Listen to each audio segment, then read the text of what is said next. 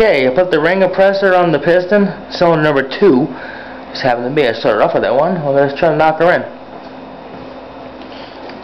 Soft piece of wood.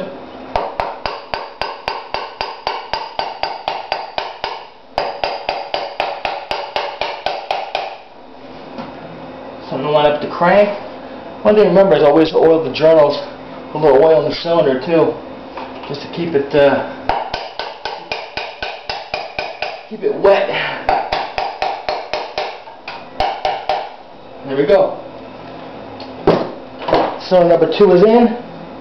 Sit it against the crank, pre-oiled. Okay, everything's beautiful. That's the way it should be. We're going to follow through with cylinder number one. But first, we're going to lock up the end of the rod onto the crank, pre-oil it. There's no bearings in here. Now look at automotive. There's no bearing. As you can see, this is perfect. Absolutely no wear. That's why I didn't change the rods. Well, cylinder number two is in, seated, looking beautiful. Alright guys, just remember, always lube it, keep it wet. Take care.